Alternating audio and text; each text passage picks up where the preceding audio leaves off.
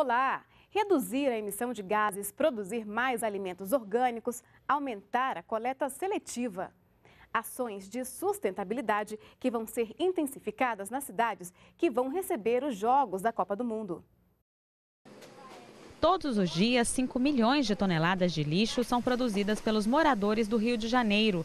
Desse total, quase 2 mil toneladas poderiam ser recicladas. Para estimular a coleta seletiva, 22 milhões de reais estão sendo aplicados para a construção de seis centrais de triagem, capacitação de catadores e investimentos em equipamentos para as cooperativas. O projeto faz parte de um programa voltado para as 12 cidades sede da Copa do Mundo e conta com o apoio do BNDES BNDES. É uma linha onde a BNDES tem parte do investimento dela voltado para a criação de infraestrutura de centrais e mais capacitação da mão de obra dos catadores e uma contrapartida do município do Rio com a expansão da frota, bem como contratação dos garis empenhados nessa atividade. A cooperativa Associação Beneficente Padre Navarro é uma das entidades que participam da coleta seletiva de lixo no Rio. Aqui, os catadores separam plástico, papel e latinhas. Durante 17 anos, Valdemir trabalhou como catador e hoje ajuda os colegas a pesar os materiais coletados. No lixo, ele enxergou matéria-prima para peças de artesanato e se conscientizou sobre a importância da separação dos resíduos. Hoje que eu estou pensando mais, né? eu não tinha essa noção toda. Agora que eu estou pensando. Eu, eu, eu, eu, uso, por exemplo, eu, eu, eu com papel na mão, eu nunca jogo no chão, sempre jogo em depósito de lixo. Trabalham na cooperativa 40 pessoas de várias comunidades que processam entre 70 e 90 toneladas de material reciclável por mês. Uma oportunidade para trabalhar e ajudar a preservar a natureza. A gente está tirando o lixo da rua e reaproveitando.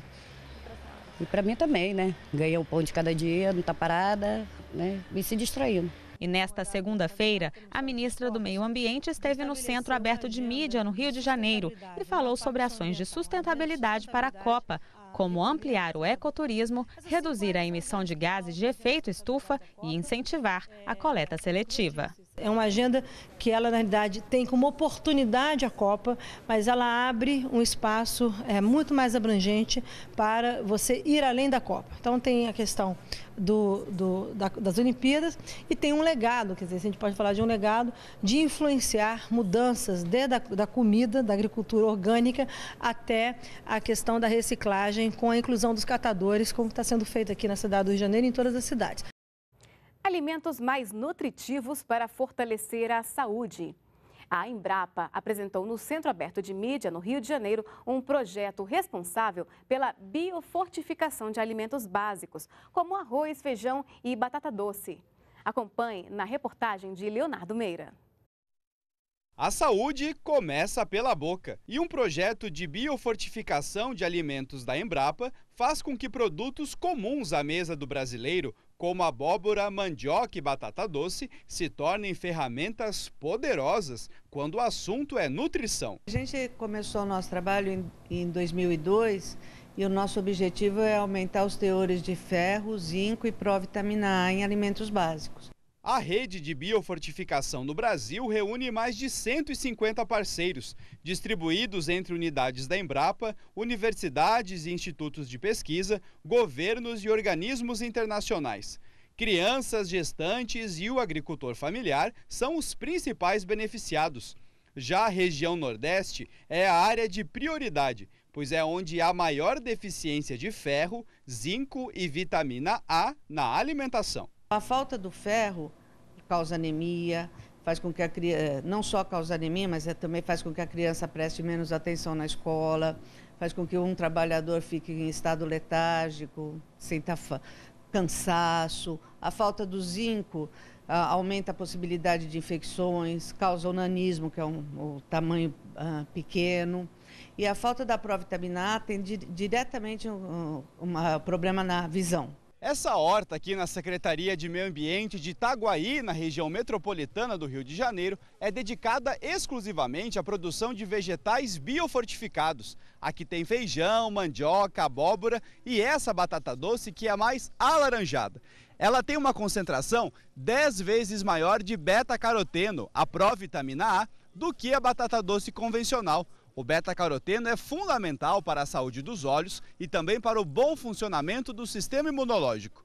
E o projeto Bioforte prevê a melhoria ainda de outros produtos que são bem comuns na agricultura brasileira. Só essa horta produz cerca de 3 toneladas de alimentos biofortificados, que são usados na alimentação de crianças da rede pública de ensino. E a batata doce diferente é uma das que caiu no gosto dos pequenos. Mas elas tiveram bem mais interesse pela batata doce, devido à cor alaranjada, chamou a atenção. A iniciativa da Embrapa foi tema de uma coletiva de imprensa no Centro Aberto de Mídia. A estrutura fica no Rio de Janeiro e oferece informações sobre políticas públicas do governo federal durante a Copa das Confederações.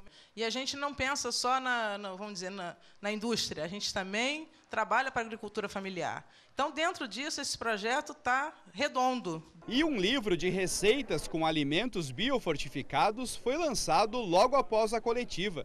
São mais de 30 opções de pratos para tornar mais agradável o consumo de alimentos tão nutritivos. Dentro dessa, desse universo de receitas, o mais importante aqui é a, como, eles, como elas conseguiram aproveitar esses alimentos, a diversidade com que eles podem ser elaborados né, e a melhor forma com que eles podem ser aproveitados pelos pelos consumidores principais. Acompanhe as políticas públicas do governo federal para os grandes eventos aqui na NBR, a TV do governo federal.